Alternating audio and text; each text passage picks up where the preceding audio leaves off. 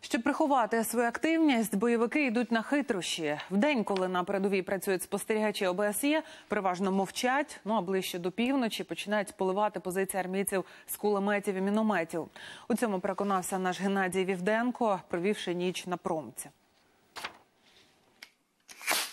Час від часу українські бійці запускають освітлювальні ракети, щоб вочевидь перевірити, чи не підповзає ворожа диверсійна група. Опівночі бойовики відкривають вогонь з кулемета. Північ в Авдіївській промзоні до ворога тут метрів 30-40. Стріляють вони не так часто, але періодично. Про повну тишу говорити ніяк не можна. В обід от сюди прилітали 83 ось полчаса назад ще раз АГС прилітав. Лазять, подлазили десь під скелет, просматривають. Ось ми не відкриваємо. Тут на передовій бійці вважають, перемир'ям таку ситуацію назвати неможливо. Лише за кілька днів наші солдати нараховують чисельні випадки використання окупантами бронетехніки та великокаліберних мінометів. Працює ворожий снайпер, бійці жартують, перестануть голитися. Тим більше як побриєшся, хорошенько.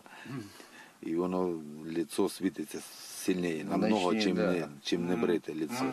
Хорошо просматривается. да. снайпера сейчас работают.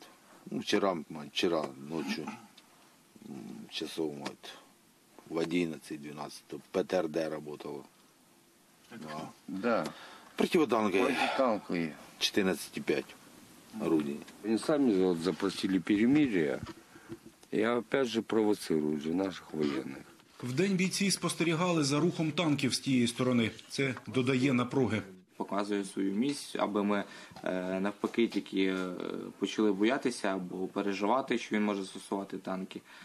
Я не думаю, що він буде їх використовувати, але демонстрацію своєї присутності, своєї могутності, своєї сили він намагається показати. Але я вважаю, що це просто дешевий піар.